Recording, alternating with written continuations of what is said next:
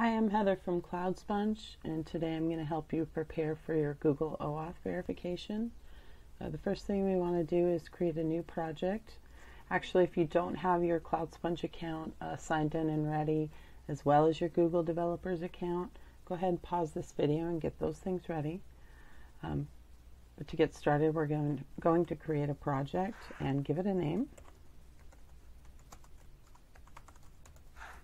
Uh, I won't be selecting an organization because I'm just using this for testing purposes, uh, but I do encourage you to select your organization when you create your account. It takes a moment or two, so we'll just give this some time. Okay, so now our account is created and we're going to enable APIs and services. We're looking for the People API. And that's here. And we'll enable it.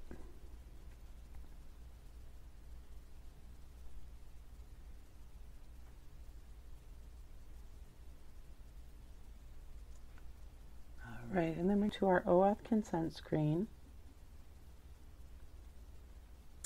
And we'll be choosing external and create. We'll be adding the name of our app. I'm just going to go with the Hulk theme. And our user support email. Um, you'll want your support email here, but again, for testing purposes, I'm just going to use Mr. Hollywood Hogan. Um, next thing we're going to do is add our logo, as well as our domain.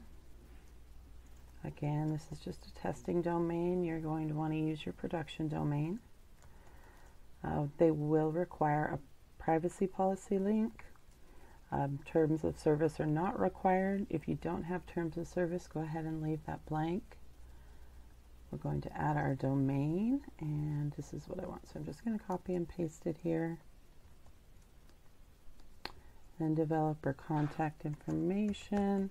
Um, like I said before, the other emails you're going to want to use is your support email.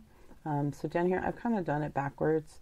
So just make sure that your support email is above and um, any developer emails are down here. Next, we're going to add those scopes that we enabled before. Um, so again, that's the People API. This little box can get in the way, so just do your best to move around it. Uh, we want the contacts.read only and the contacts.other.read only.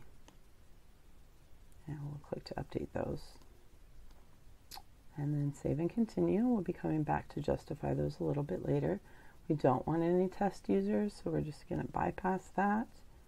And then we're going to go back to our dashboard where we need to publish the app. And give you a moment just to take a look at these.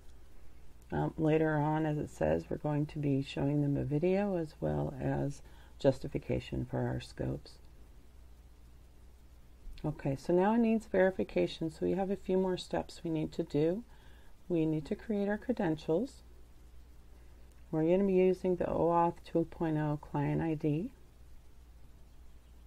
And so we'll click create credentials, OAuth client ID.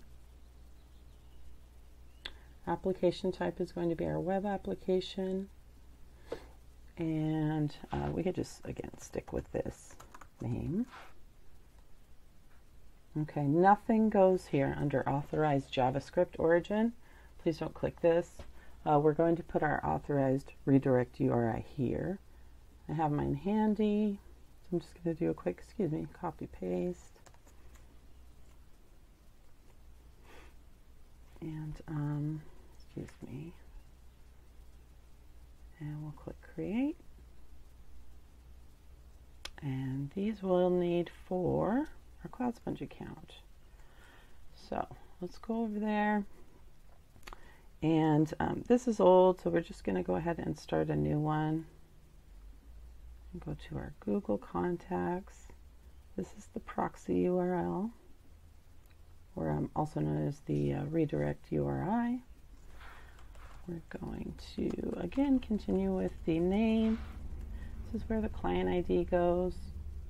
Excuse me. and then our client secret.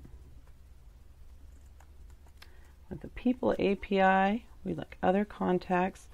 We don't recommend directory contacts. We're going to click default, excuse me, default Google client as well as live. And then we're going to save and close. And then we're going to go back over here and click OK. So the next thing you want to do is your domain verification. Uh, this shows Google that you own the domain. Um, so you're just going to click this link here and go through that process and we'll be right back. So now that we verified our domain, we're going to go back over to our CloudSponge account and just check that everything is working so far. Uh, we're not done yet, but we're almost there. So I'm going to double check my, my OAuth flow here. Um, I'm already logged in, so this is looking good. And let's go back here really quickly. Because the next thing we're going to do is prepare for verification. And um, I'll show you the screen and then we're going to come back a little bit later and in another video I'll show you um, what Google is going to need for the last piece of verification. That's going to be done here. So as I said before, we're going to justify our scopes and we're also going to show them a demo video. So for now, I'm just going to click cancel and I'll see you for the next video.